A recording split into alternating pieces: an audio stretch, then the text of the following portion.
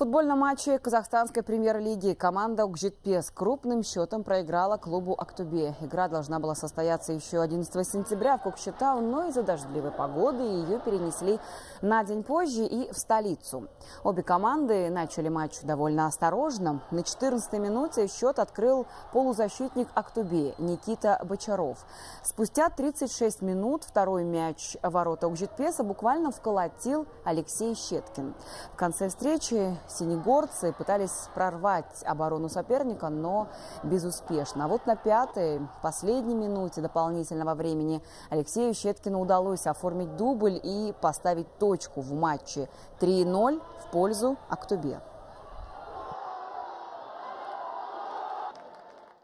Мне сегодня стыдно за то, как команда играла, поэтому приношу извинения болельщикам. А, В общем-то, при каком-то видимом территориальном преимуществе мы проиграли игру вчистую. А, Сегодня не, не видел у команды то, что было в прошлых играх, ни воли, ни характера, ни мастерства. Очень тяжелый матч получился. Все-таки хозяева любят контролировать мяч и создали достаточно моментов, чтобы забить.